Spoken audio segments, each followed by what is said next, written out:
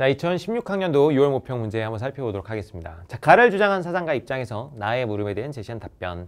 자, 여기 이제 뭐라고 나와 있냐면 담론에 대한 얘기를 하고 있네요. 과학기술의 비약적 발전 과정에서 우리는 이성적 도구의 측면만을 중시하고 의사소통적 측면을 좀 간과했다. 의사소통적 이성은 사회 집단이 자신의 생활 규제하는 규범을 새롭게 구축하는 과정에서 요구된다. 자, 의사소통적 측면이 중요하다. 그것은 담론의 상황에서 작동이 되는데 공론장, 담론, 공론장, 의사소통 이런 얘기하는 사람 누구야? 하버머스죠. 하버마스, 하버마스라고도 하고 하버머스라고도 하고 뭐 상관없어요. 하버머스의 무슨 윤리? 담론 윤리입니다. 현대 사회 문제를 해결하기 위해서 우리는 뭘 필요해서 뭘 뭐가 필요하다? 담론 절차가 필요하다. 담론 절차를 거쳐서 합의된 것으로 우리는 그 문제를 해결해야 된다. 이렇게 얘기를 하고 있는 것이 담론 윤리죠. 1번 시민들의 이성적 토론을 통해 정책에 대한 합의를 도출해야 된다. 어? 뭐야? 바로 나오네. 정답은 1번 되겠습니다. 2번 과학기술 전문가 집단의 토론 결과만으로 정책을 수립해야 된다. 아니 어디서? 공론장 누구나 참여할 수 있는 공론장에서 결정을 해야 되는 거예요. 전문가 집단만의 토론으로 안 됩니다. 3번 이익 집단 간의 세력 균형이 이루어지도록 정책을 수립. 세력 균형 이런 게 중요한 게 아니라 지금 뭐야? 공론장에서 우리가 합의해야 된다 이런 얘기하고 있죠. 4번 시민사회보다 관련 국가기관이 주도해서 정책을 수립해야 된다. 이러면 공론장에서 논의가 쉽게 안 될 거 아니에요. 5번 정책 수립 과정에 있어서 효율성을 최고의 기준으로 삼아야 된다. 효율성을 최고의 기준으로 삼으면 빨리빨리 처, 처리하려고 할 거 아니야. 그게 아니라 이 담론 절차를 충분히 걸쳐야, 거쳐야 됩니다. 그래서 효율성을 최고의 기준으로 삼는 건 아니죠. 정답은 1번이 되겠습니다. 자, 2016학년도 수능 문제 한번 보도록 하겠습니다. 자, 갑 보시면은 갑은 누구냐면 음, 자, 문명 간의 갈등은 상이한 문명에 속한 인접국들이나 집단들 사이에서 단층선 분쟁에서 발생한다. 각 문명의 핵심국들이 문명 분쟁 당사자들을 지원하는 과정에서 문명 간의 분쟁이 야기될 가능성이 있다. 여러분, 문명 간의 분쟁이 일어날 가능성이 있다. 이거는 이제 헌팅턴이라는 사람이에요. 사실 근데 여러분 안 외우고 그냥 독해용으로 푸셔도 돼요. 헌팅턴의 문명 충돌론이에요. 문명 충돌론. 문명 충돌론. 그 뭐 유명한 책이 있어요. 헌팅턴의 문명의 충돌이라는 책이 있습니다. 이라크전 이런 것도 이제 그런 맥락에서 그때 당시에 막 이제 해석이 되고 막 그랬었죠. 이라크 전쟁 같은 경우도 이라크로 대변되는 이슬람 문명과 어떤 미국으로 대변되는 그런 미국 크리스트교 문명이 한판 붙은 것이다. 이제 이렇게 해석할 수 있었던 이론적 근거를 제공했던 게 헌팅턴의 문명 충돌, 론입니다 그래서 뭐 그때 당시 이라크전 당시에 뭐 영화도 막 그런 영화 많이 나왔어요. 300 뭐 이런 영화 나오고 뭐 페르시아 쪽에서 뭐 이상한 왕이 막 이제 어 저기 이 그, 그리스 침공하는 뭐 그런 내용이 있었는데 이게 문명끼리 충돌하는 걸 보여주는 그런 영화였습니다. 자, 여튼 하여튼 뭐 헌팅턴인 거 모르셔도 돼요. 그냥 문, 읽어보시고 아 문명 간의 갈등이 일어나는구나 이렇게 이해하시면 됩니다. 자, 을은 자, 문화 간 갈등은 소통 단절에서 기여합니다. 세계의 역동성은 낯선 것과의 대결을 다층화하여 거부 본능을 자극하기도 하지만 정치와 무관하게 대화를 추진하는 힘들로 인해서 문명 간 가치들의 교집함을 확대시킬 겁니다. 문명 간의 갈등은 왜 발생한다? 소통 단절에서 기여, 기인한대요. 이 사람은 이제 밀러라는 사람이에요. 역시 근데 밀러인 거 모르셔도 돼요. 그냥 이 내용을 가지고 읽어보시면 돼요. 이 사람의 얘기는 뭐야? 문명 간의 갈등은 소통 단절에서 비롯되니까 뭘 많이 하라는 거야? 소통을 많이 해서 문명 간의 갈등을 해결해야 된다. 이런 얘기를 하고 있죠. 얘는 이제 밀러는 문명이라는 게 소통을 통해서 공존할 수 있다. 문명 공존론을 이야기합니다. 근데 중요하지 않아요. 그냥 내용만 정확히 아시고 풀어주시면 됩니다. 1번 갑 핵심국들이 단층선 분쟁 억제를 위해 타협해서는 안 된다 그러는데 문명끼리 지금 충돌하고 있잖아요. 그러니까 그 충돌을 충돌을 막기 위해서 당연히 타협해야 돼 안 해야 돼? 타협해야지. 타협해서 안 된다는 얘기를 하는 게 아닙니다. 문명이 충돌돼야 된다는 게 아니에요. 문, 문명 간의 경계에서 충돌이 발생할 가능성이 많으니까 그런 것들을 고려해가지고 이런 것들을 완화해야 된다는 게 헌팅턴의 주장입니다. 2번 문명과 문화의 다양성을 배제하고 동질성을 모색해야 된다. 지금 동질성 모색하자는 게 아닙니다. 다양성 지금 문명끼리 도, 서로 서로 이해를 못하니까 서로 계속 충돌한다는 거잖아요. 그래서 동질성을 모색하자는 얘기는 아닙니다. 다양성 배제하냐는 얘기 더욱더 아니고요. 3번 국제 교류의 확대를 통해 문명 간의 갈등을 완화해야 된다. 하, 이건 너무 쉬운 거 아니냐? 소통 단절에서 기여한다. 그렇기 때문에 대화를 추진한 힘들로 이런 국제 갈등을 해결해야 된다. 그럼 국제 교류 확대를 통해 문명 간의 갈등을 완화. 아 이거는 여러분 누군지 몰라도 그냥 거저주는 문제입니다. 정답은 3번이죠. 4번 세계는 개별 문명을 넘어 단일 문명의 실현 아니 지금 단일 문명으로 가자는 거예요? 세계를 하나의 문명으로 통일하자? 그런 얘기 아닙니다. 5번 국제 분쟁의 근본 원인을 정치 이념의 차이에서 찾아야 된다 그러는데 자, 헌팅턴 같은 경우는 뭐에서 찾아요? 문명 간의 차이에서 찾고요. 밀러 같은 경우 뭐에서 찾아요? 소통 단절에서 찾아요. 정치 이념에서 차이, 저- 차이에서 찾는 게 아닙니다. 요거는 여러분 냉전 이전식이야. 그래서 공산주의와 자본주의 진영 간의 정치 이념의 차이가 있었던 건 냉전 이전식입니다. 냉전은 언제까 언제 이전이야? 1990년 이전 시기를 말하는 거예요. 정답은 3번이 되겠습니다. 자, 2016학년도 6월 모평 문제 한번 살펴보도록 하겠습니다. 그냥 읽고 풀어주시면 됩니다, 여러분. 이런 문제, 독해형 문제입니다. 자, 우리는 온난화 또는 테러와 같은 글로벌 위험에 직면하고 있다. 이 위험은 무차별적이다. 그 위- 범위가 방대하다. 그래서 어떤 국가도 안전하다 볼 수 없다. 글로벌 위험 사회다 지금은. 그래서 유토피아를 꿈꾸기보다는 최악의 사회에 놓이지 않기 원하기에 글로벌 공동체 구성원이 되는 것이다. 지구 온난화와 테러 같은 문제는 한 국가만의 문제가 아니다. 지구적 문제다. 우리 이거 같이 파이팅 해가지고 좀 막아보자. 이런 얘기를 하고 있습니다.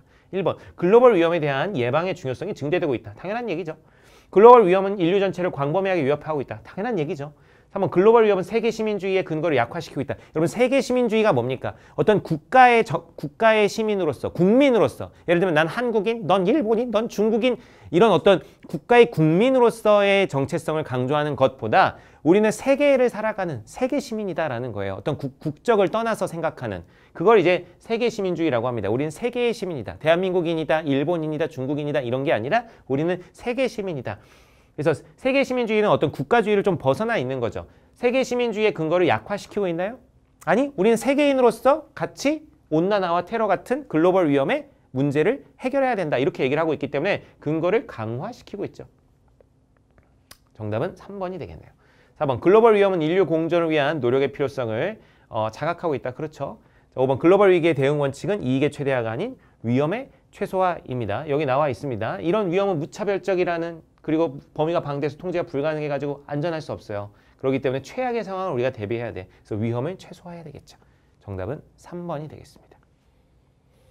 자, 2015학년도 6월 모평 문제 한번 살펴보도록 하겠습니다. 자, 가의 갑을 사상가 입장을 나 그림과 같이 탐구할 때 옳지 않은 것은 뭐 이렇게 나와 있는데 자, 갑 보시면 자, 이익 평등 고래 원칙을 바탕으로 인류의 고통 감소와 이익 증진을 위해 전 세계 가난한 사람들에게 원조를 해야 된다. 어느 나라 사람인지는 중요하지 않다. 누굽니까? 싱어죠. 이런 거 모르시면 안 되겠죠. 싱어. 개개인에 대한 원조를 해야 된다. 어느 나라 사람인지는 고려할 필요가 없다. 을 고통받는 사회의 정치 체제를 질서정연한 사회 체제로 만들어야 된다. 해외 원조를 해야 된다. 자, 사회에 대한 원조를 해야 된다는 거야. 개인에 대한 원조가 아니라 고통받는 사회가 있으면 그 사회를 좀 제대로 된 나라로 질서정연한 사회를 만들기 위해서 해외 원조해야 된다. 빈곤의 문제는 정치 체제의 결함에서 기인하기 때문이다. 각 사회 고유한 문화나 역사에 따라 필요한 부의 수준은 다르다. 누굽니까? 롤스죠. 질서 정연한 사회를 만들자. 가봅니다. 1번 A. 해외 원조는 의무의 차원에서 이루어져야 되는가? 이건 둘의 공통이 되겠습니다. 그래서 롤스와 싱어 둘 다 동의할 수 있, 고요 2번 B는 국가보다 개개인의 초점을 맞춰 원조를 해야 되는가? 싱어의 입장입니다. 싱어는 아까 얘기했지만 어떤 사람인지 주, 그 사람이 어느 국가의 사람인지 중요하지 않다. 그래서 그 개개인이 지금 고통에 빠져 있다면 가난하다면 원조에서 행복 증진할 수 있도록 해야 된다. 그래서 국가보다 개개인의 초점을 맞춰 원조를 해야 된다. 싱어의 입장입니다. 싱어는 맞고 롤스는 아니어야 되는데 롤스는 개개인이 아니라 그 사회에 초점을 맞춥니다. 고통받는 사회를 질서정연한 사회로.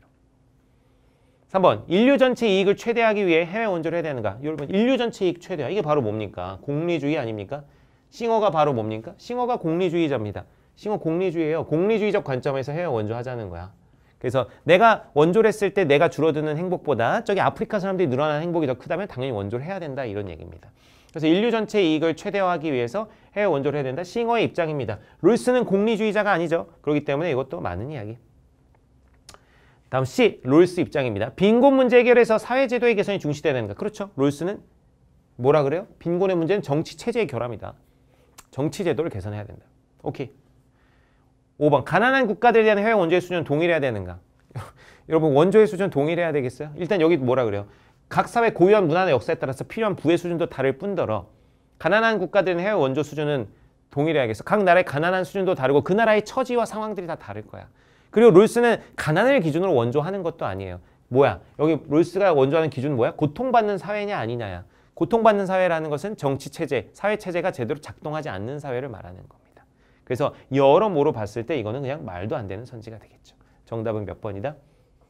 5번이 되겠습니다. 2016학년도 6월 모평 문제 한번 살펴보도록 하겠습니다. 자, 우리가 세계화 시대를 얼마나 잘 겪어낼 수 있는가 하는 문제는 하나의 세계를 살고 있다는 생각에 어떻게 윤리적으로 대응하는가에 달려 있다. 자, 여기 핵심 힌트가 나오네요. 세계 모든 사람의 이익은 평등하게 고려해야 된다. 국적과 무관하게. 여기서 끝나는 거야. 이것이 바로 이익 평등 고려의 원칙. 누굽니까? 싱어가 되겠죠. 그래서 부의 분배에 대한 전 지구적 단일 기준을 마련하고 이를 통해 전 지구적 차원의 분배가 이루어져야 된다. 이익 평등 고려 원칙에 따라서 전 지구적 차원의 어떤 원조 분배를 해야 된다 이런 얘기죠. 1번 원조는 개인이 아닌 국가적 차원에서 이루어져야 됨을 명시하면 아니 개인이 할 수 있어요. 당연히 당연히 개인이 할 수 있습니다.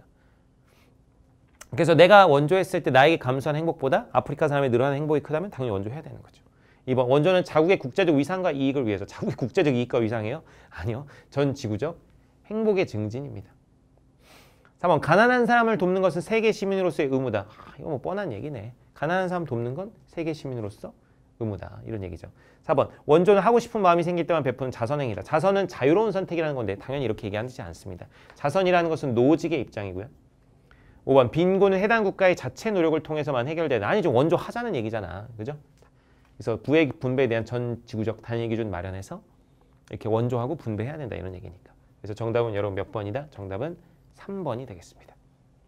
자, 2016학년도 9월 모평 문제 한번 살펴보도록 하겠습니다. 자, 가볼게요. 갑사상가에 비해서 을사상가의 어, 입장의 상대적 특징. 자, 갑. 국제사회에서 어떤 사회가 불리한 여건 때문에 고통을 겪고 있다면 적정 수준의 문화를 형성하여 질서정연한 사회가 될 수 있도록 고통받는 사회를 질서정연한 사회로 를 쓰죠. 오케이. 을. 만약 도덕적으로 상응하는 중요한 것을 희생하지 않고 나쁜 일이 일어나는 것을 막을 수 있는 힘이 우리에게 있다면 우리는 마땅히 그런 나쁜 일을 막아야 된다. 아프리카에서 어떤 사람이 죽어가고 있는데 어? 우리가 지금 아이폰 사고 어? 뭐 맨날 스테이크 썰고 이런 게 중요한 게 아니라는 거예요. 그러니까 우리가 좀 스테이크 먹는 거 대신에 그냥 삼겹살 굽고 어? 아이폰 사는 대신에 어? 좀 약간 어? 저가형 핸드폰을 사고 이러면 이 그 남은 돈으로 걔네를 뭐 해줄 수 있다. 도와줄 수 있다. 그것이 나쁜 일이 일어나는 걸 막을 수 있는 그래서 우리에게 힘이 있다는 거야. 어떤 도덕적으로 상하는 것, 중요한 것을 희생하지 않고서 우리가 뭐 아이폰 쓰다가 좀 이제 저가의 스마트폰 쓴다고 도덕적으로 중요한 걸 희생하지는 않는 거잖아요.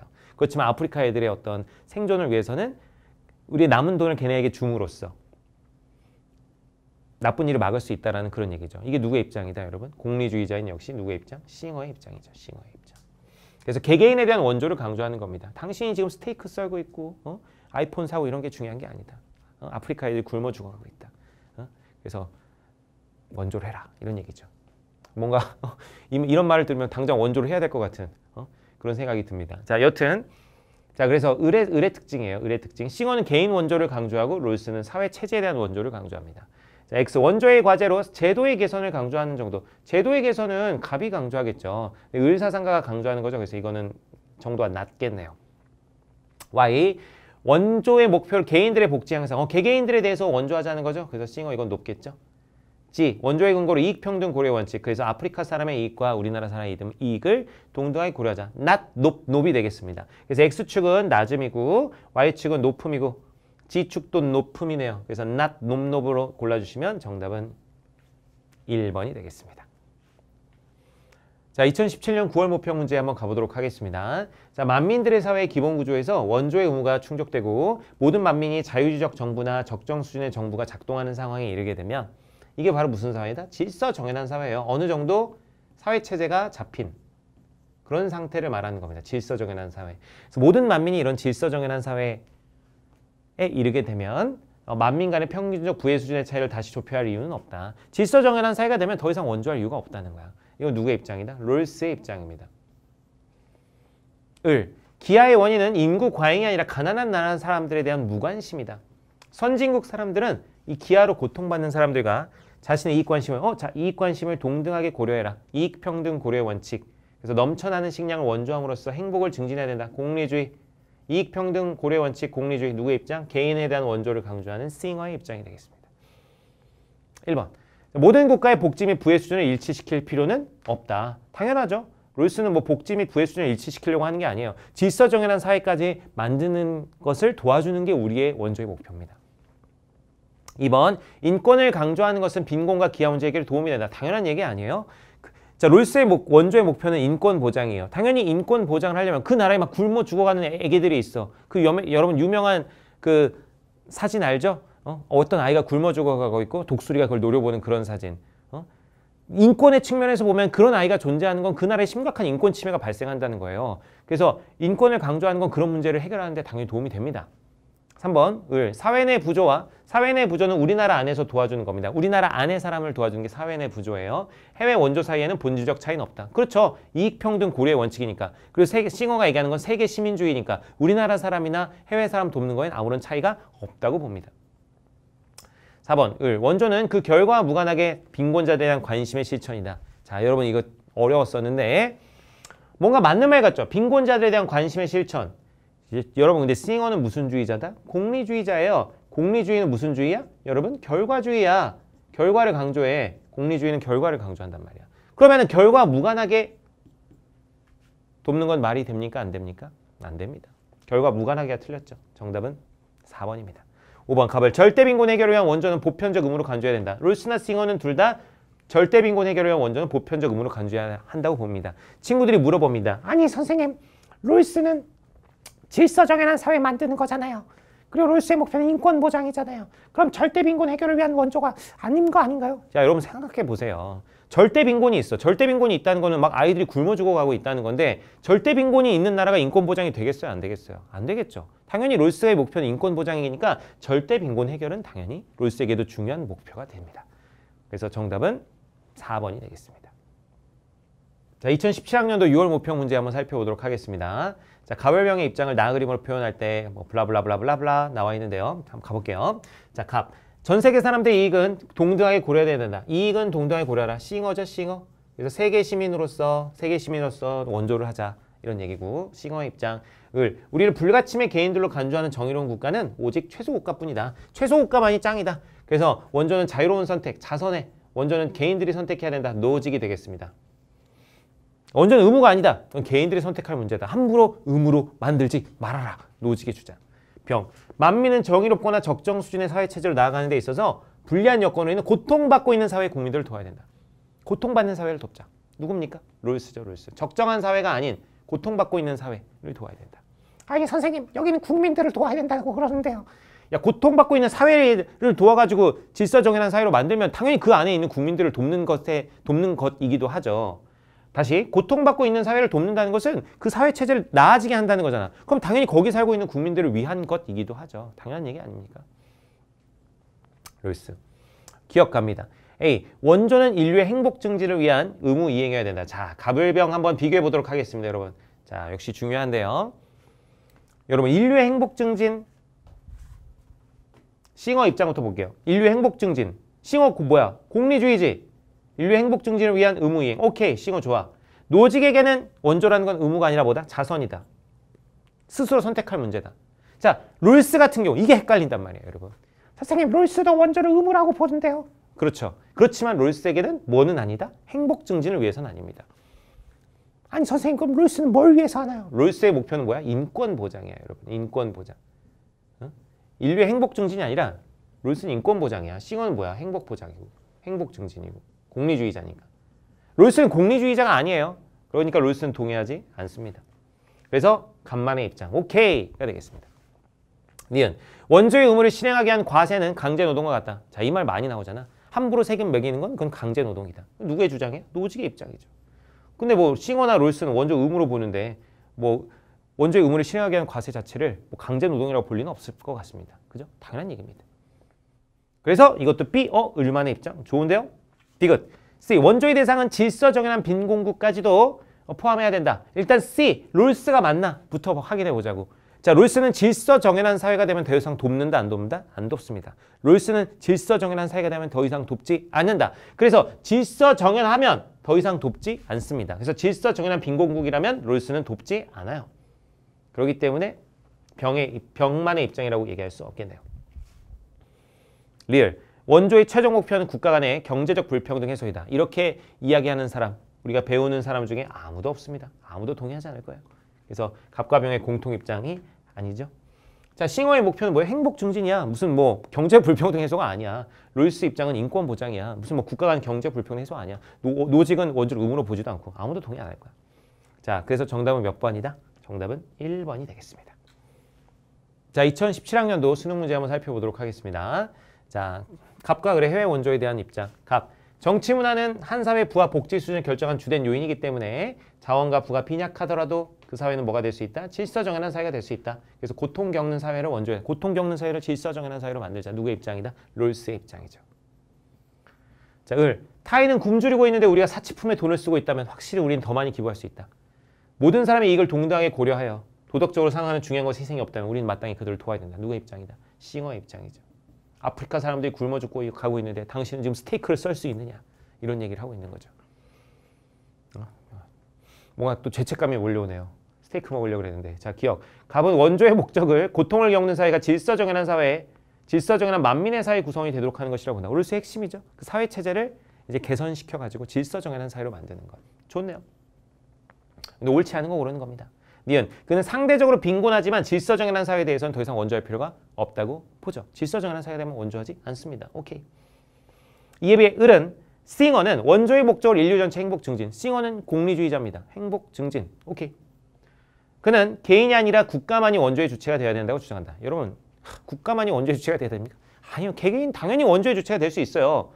내가 원조의 주체가 될 수 있어. 아프리카 애들을 위해서. 이게 뭐라 그러니? 사치품에 돈을 쓰고 있다면 확실히 은연히 더 많은 기부를 할 수 있다. 사치품을 줄이고 좀 기부해라 이런 얘기잖아. 당연히 개인이 주체가 될 수 있다는 이야기를 하고 있습니다. 그래서 국가만이 원조의 주체가 되는 건 말도 안 되죠. 개인이 원조의 주체가 될 수 있습니다. 정답은 4번이겠네요. 자, 5번. 가 5번. 자, 미음. 갑은 사회의 정의를 그 롤스의 목표는 어, 인권 보장이에요. 인권 보장이라는 건 뭐야? 사회에서 정의를 실현한다는 거야. 사회의 정의를 은은 개인들의 복지, 개인들의 행복 증진, 복지를 중시한다. 이건 맞는 얘기죠. 정답은 4번이 되겠습니다.